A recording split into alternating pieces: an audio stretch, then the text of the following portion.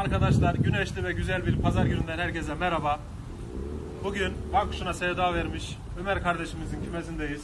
Merhaba kardeşim nasılsın? Merhaba, öncelikle hoş geldiniz. Hoş bulduk. Teşekkür ederim. Siz nasılsınız? Kuşlarını gördük daha iyi olduk. Ee, kısaca izleyicilerimize kendini tanıtır mısın? Tabii ki. Ben Ömer, 27 yaşındayım. Vanlıyım, e, kamu personeliyim. Bayburt'ta görev yapıyorum. E, tabii görev yaparken tek başıma yaşıyorum. Yaşarken de en iyisi dedim yalnız kalmayayım. Gelirken de sevdamı birlikte yanımda getirdim. Ee, sevda demişken, kuş merakı demişken sende bu merak ne zaman uyandı? Ne zaman başladı? Anlatır mısın? Tabii ki. E, ben Van Erç doğumluyum. İlçede büyüdük. Tabii mahallede hemen hemen herkes kuş besliyordu. E, onların kuşları vardı. Her sokakta, her mahallede herkes besliyordu. Tabii o zamanlar 9-10 yaşlarındaydık. Daha sonra ise merkeze taşındık. Merkezde hemen karşımızda 50 metre ileride bir ev vardı, iki katlı. Onların damlarında kuş vardı, kuş besliyorlardı. Ben de her gün güneşli, yağmurlu fark etmez çıkardım ama böyle kuşlarına bakardım. Küçük bir Kuşlarına- çocuk edasıyla. Küçük bir çocuk, o zaman daha çocuğuz. Hiçbir şeyin farkında değiliz ama böyle çok bir istekli çünkü canlı bir hayvan. Yani o zaman kötü bir şey, alışkanlık olarak gelmiyordu bize. Tabii aile için geliyormuş. Biz gidiyorduk, bakıyordum.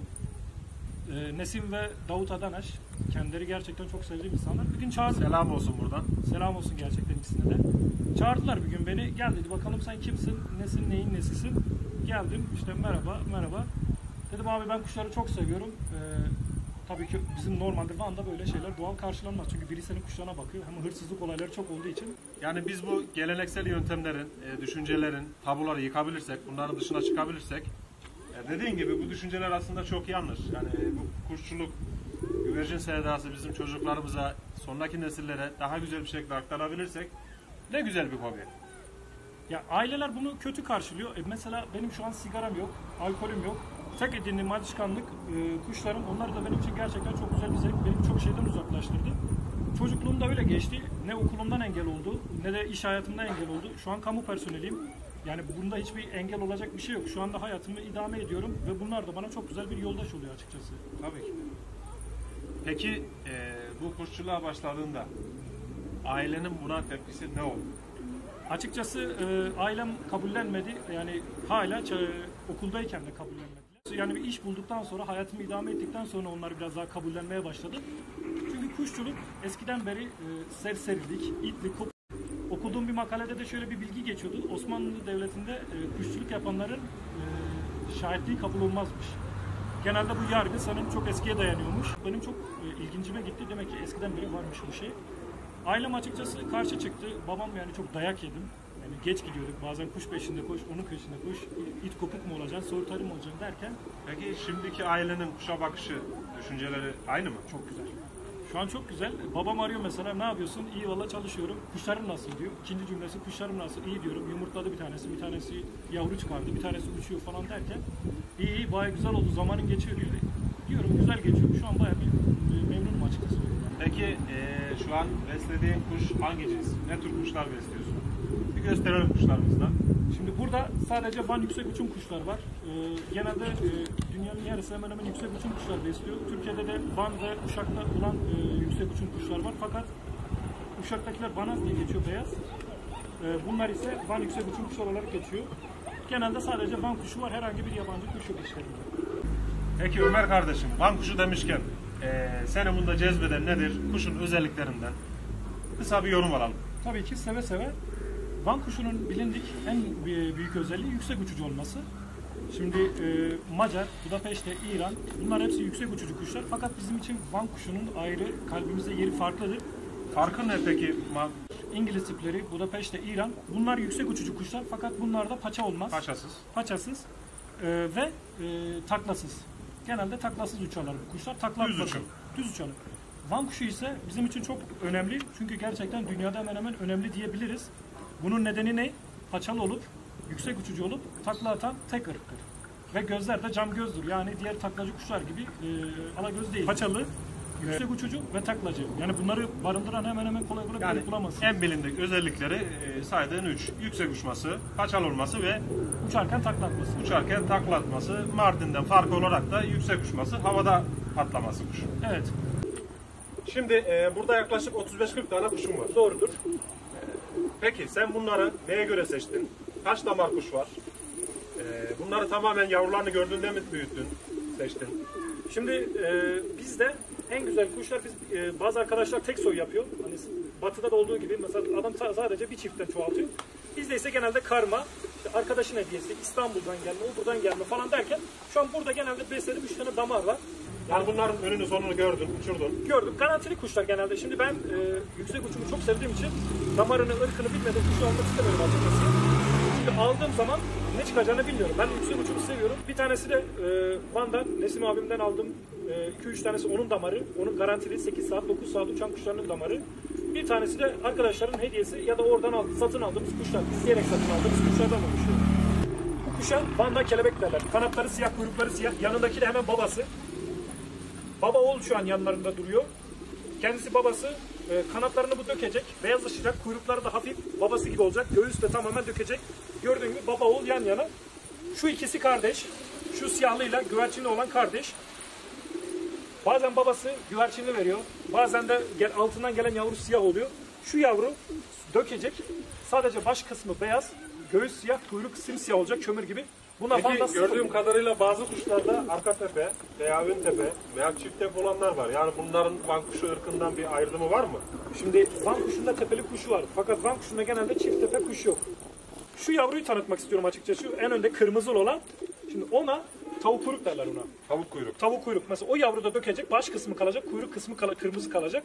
Fakat bunda batıda e, Van kaplanı deniliyor. Fakat ben bu isimden biraz rahatsızım. Van kaplanı, Van Mardin'i deneyim. Mardin farklı, Van farklı. İkisi de farklı bir yer. Yani o yüzden bunun ismi tavuk kuyruk. Bu şekilde deniliyor. Mesela şu beyazı görürsünüz. Bizim beyazlarda şöyle bir şey var. Ala göz değil. Sizdekiler dana göz böyle. Gözleri simsiyah. Bizdekiler ise cam göz. Ee, bu başı hafif görüyorsunuz. Ben e, dendenli bir şey bu duman derler. Kızın ayağında ise şöyle bir zil diye bir ta- e, zil diye bir şey var. Ayaklarında bileziklerinde. Bunun nedeni burası dağlık bir alan olduğu için atmacaların göç yolları üzerinde olduğu için burada çok fazla atmaca saldırısı oluyor. Birçok kuşumuz atmacadan yara aldı. Bazılarını da aldı götürdü. İki gün önce zaten bir tanesini de aldı götürdü. Bunun için bu zilde engel olmaya çalışıyoruz. Ufak bir engel olabildiysek bu da bizi mutlu ediyor açıkçası. Dediğim gibi Peki zilden e, kazancınız oldu mu atmaca yönünde? şu an oldu. Ee, zilleri alalı iki ay falan oldu. Zilleri almadan önce e, bir hafta içinde üç tane kuşumu yedi. Fakat zilleri aldıktan sonra sadece iki tane yedi. O ikisinde de ayağında zil yoktu maalesef. Onlar da kendiliğinden kalktı. Ama şu an e, bir verim aldığımızı söyleyebilirim açıkçası. Ya- Ve bazı ırklar tek damar dediğimiz yani sadece tek soy anne babadan türemiş kuşlardır. Bu da onlardan bir tanesidir. Yani bunun e, günlük ben 6 saatini 7 saatini izledim fakat e, çok kaçak bir kuş. Atmacalardan dolayı korkumdan uçuramadığım kuşlardan bir tanesi. Şöyle de bir tane e, kızıl dediğimiz bazılarının çil bazılarının ise sıfır dediği bir kuşumuz var. Şu şekilde. Bu da gene yavruyken bir abimiz tarafından hediye edildi. Van'da çil diye geçer. Bazıları sıfırdır, kızıl sıfırdır. Tipine göre değişiyor bazen böyle.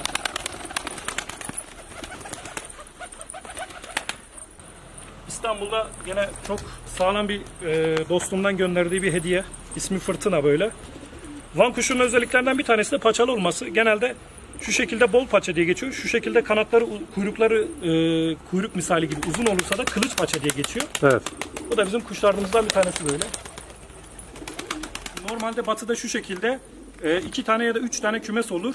Bir tanesi damızlık, bir tanesi uçucu, bir tanesi farklı renk kuşlar beslenir. Bizde ise öyle değil. Genelde tek bir kümes olur. Hepsi aynı yerde olur. Fakat e, yeni yeni bilinçlenmeyle şu an daha farklı. İnsanlar artık 2-3 tane kümes yapıyor. Uçucu kümesler ayrı, yavru kümesler ayrı.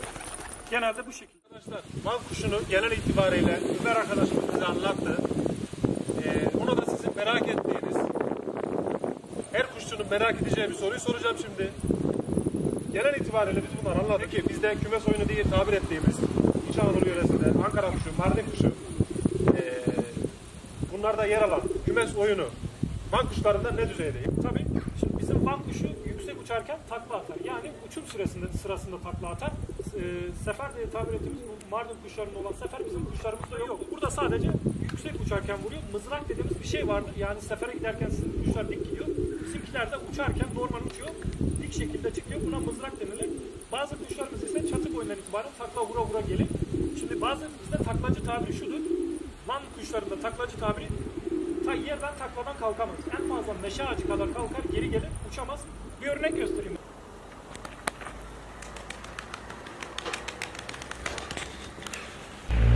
Evet arkadaşlar, e, sizin için iki tane kuş uçurduk. Yüksek uçum olduğuna kanıtlamak için. Bizim kuşlarımızın bir özelliği de göğe hemen yükselmesi. Yani bir 5 ile 10 dakika arasında kuşlar göğe gidebiliyor. Hava bugün rüzgarlıydı. Biraz daha sakinleştiği için bu saatte atmayı tercih ettik. E, kuşlarımızı da akşamüstü bu şekilde sizin için uçurduk. Bir örnek vermiş olduk. Şimdi kuşlarımızın tamamını çıkardık. Evet. Ee, buradan son olarak Van kuşu cinsini beslemek isteyen arkadaşlarımız var ise onlara buradan ne söylemek istersin? Yani profesyonel bir şekilde başlayamazlar illaki ama bütün kuş e, cinslerinde böyledir. Amatör bir şekilde başlamak isteyen arkadaşlar e, biz arkadaşımızın Ömer kardeşimizin Instagram adresini de açıklama kısmına bırakacağız. Buradan da sözlü olarak ne söylemek istersin? Neye dikkat etsinler? Yeni yapmaları besleyecek lazım? arkadaşlar evet renge dikkat etmesi lazım ama asıl van kuşu bir tip kuşu değildir. Bir yüksek uçum kuşu olduğu için tip olduğu kadar da yüksek uçum da onlar için önemlidir. Şimdi van kuşunda çok geniş bir e, derya gerçekten çok geniş bir derya çok çeşit kuşlar var. Bozundan tutun kara kuyruk dediğimiz sıfır dediğimiz çil dediğimiz güvercinli dediğimiz, kelebek dediğimiz, duman dediğimiz, deli dediğimiz binlerce çeşit var. Şimdi bunlar da biz de dilimiz döndüğünce kadar olanlarla bazı şekilde tanıtmaya çalışacağız. Şimdi Van kuşun dediğim gibi özelliklerinden bir tanesi yavruyken farklı bir renkte olması, büyüdüğü zaman farklı bir Evet arkadaşlar bu bölümün de sonuna geldik. Bu bölümde Van kuşunu yüzeysel olarak sizlere tanıtabildiysek ne mutlu bize. Son bir de söyleyeceklerim var mı izleyici arkadaşlarımıza? Ben teşekkür ediyorum öncelikle bize bu fırsatı verdiğiniz için. Van kuşunun tanıtılması için. Çünkü bizim Van kuşu olarak, e, besleyenleri olarak en büyük sıkıntımız tanıtımının olmaması. Bazı profesyonel anlamda bunun olması güzel verici, güzel ve umut verici açıkçası. Ben teşekkür ediyorum tekrardan size. Evet biz teşekkür ederiz. Amatörce de olduysa arkadaşlar kusurumuza bakmayın. Ee, bir sonraki bölümde de kuş hastalıkları ve yavru bakımıyla yine Ömer kardeşim bilgileriyle bizleri bilgilendirecek. Takipte kalın, abone olmayı unutmayın. Sevgiyle kalın, hoşça kalın.